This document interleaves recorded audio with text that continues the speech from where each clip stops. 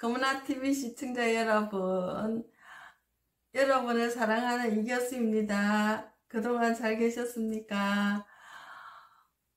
어, 오늘은 여러분들과 같이 제가 너무 옛날에 그 신기한 경험을 한 적이 있었는데, 그것, 그것을 제 마음속에 만들어 놓으니까, 아, 한번, 아, 이런 일도 여러분들 경험하셨는지 궁금하기도 하고, 아, 그런, 그 신기한 경험한 이야기를 오늘 잠깐 좀 하도록 하겠습니다.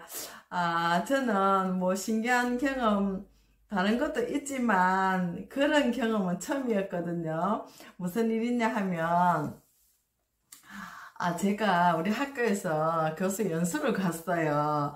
아, 연수를 이제 교수들이 이제 경, 경주 쪽으로 갔었는데, 아, 연수를 가면 이제 여러 가지 이제 그 학교에 관한 뭐 여러 가지 이제 그 강연도 하고요.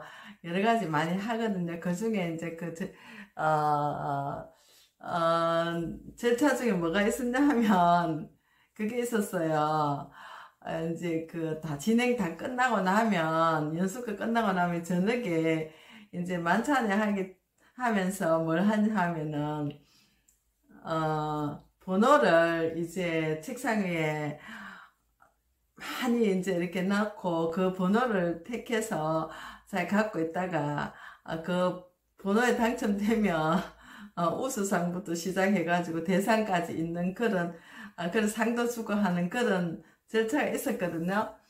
근데 저는 그런 거에 한 뽑힌 적 별로 없어요. 저는 그런 운은 없어요.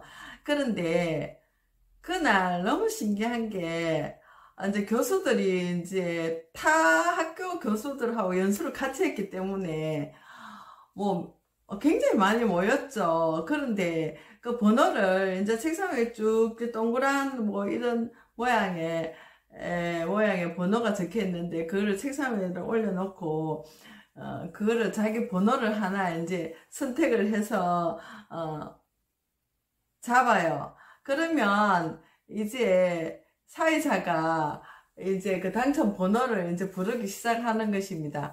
이제 제일 좋은 대상은 어, 제일 마지막에 항상 부르잖아요. 그뭐 우수상이나 뭐 다른 상 아, 이제 부르고, 이제 제일 좋은 상은, 제일 대상은 제일 마지막에 부릅니다. 근데, 뭐, 그날 별일도 없고, 제가 뭐, 기분이 좋았다거나, 뭐, 뭐, 이상한 꿈을 것도 그런 것도 없어요. 아무것도 없는데요.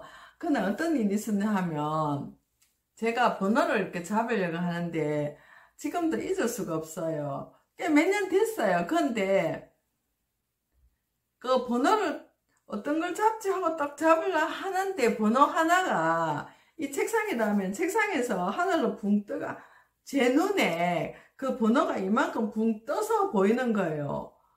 그래서 아직도 기억이 나요. 42번이에요. 그래서 놀래가 신기해가지고 그 번호를 딱 잡았어요. 아, 이제 잡고는 이제 저녁에 아, 이제 당첨자 발표를 하는데 저는 예감에 뭔지는 모르지만 그냥 너무 신기한 경험을 해서 에, 분명히 내가 오늘 뭐 될 것 같은 그런 예감이 들더라고요. 근데 번호를 안 부르는 거예요. 이제 번호 부르는 사람 다 일어서라 그러더라고요.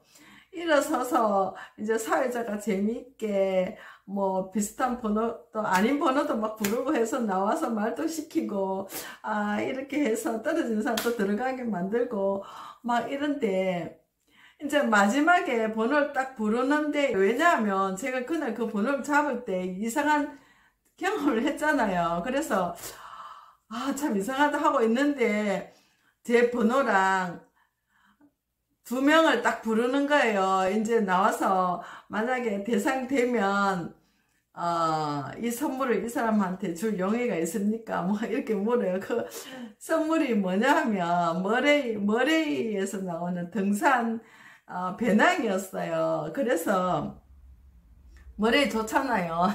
그래서 아 이제 그 사회자가 뭐라 그러냐 하면 아, 아, 저보고, 아, 뭐, 이거 되면 이 사람한테 줄 용의가 있습니까? 뭐, 이 사람 보고도 뭐 묻고, 뭐, 이렇게 하더라고요. 어쨌든, 그래서, 그날 제가, 아, 이제 이 사람은 아닌데 그냥 부른 거예요. 그냥 불렀는데, 아, 두 사람 중에서 누가 대상이 되냐? 제가 대상이 된 거예요.